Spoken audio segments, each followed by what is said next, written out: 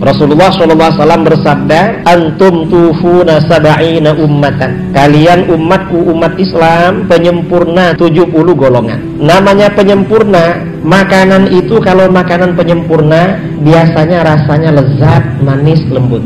Karena umat Islam ini umat penyempurna, maka bagaimana antum khairuha wa akramuha 'ala Allah azza wa Kalian adalah yang paling baik dan yang paling mulia di hadapan Allah azza wa jalla. Ini umat Islam. Jadi umatnya Rasulullah ini lebih afdal daripada umatnya para nabi terdahulu. Kalau seperti itu, umat Islam ini ibadahnya tidak lama, amalnya tidak banyak. Mengapa paling afdal? Di dalam ayat ini diterangkan tak muru nabil ma'ruf wa tanhauna 'anil munkar. Kalian senantiasa menyuruh kebaikan dan mencegah dari kemungkaran. Ini karakteristik umat Islam.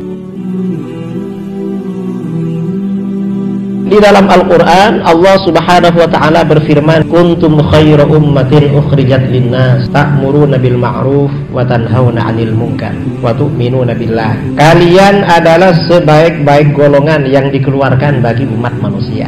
Jadi ayat ini merupakan deklarasi Pengumuman dari Allah Bahwa umatnya Rasulullah SAW Adalah umat terbaik Di antara sekian umat yang ada Maksud umat terbaik ini perbandingannya dengan siapa? Apakah dibandingkan orang-orang kafir yang ada sekarang? Misalnya Yahudi, Nasara, Hindu, Buddha. Bukan itu. Orang kafir itu gak ada nilainya di hadapan Allah. Maksud umat Islam ini umat terbaik. Maksudnya umat Islam ini lebih baik daripada umatnya para nabi terdahulu yang masih bersih berjalan di atas ajaran tauhid.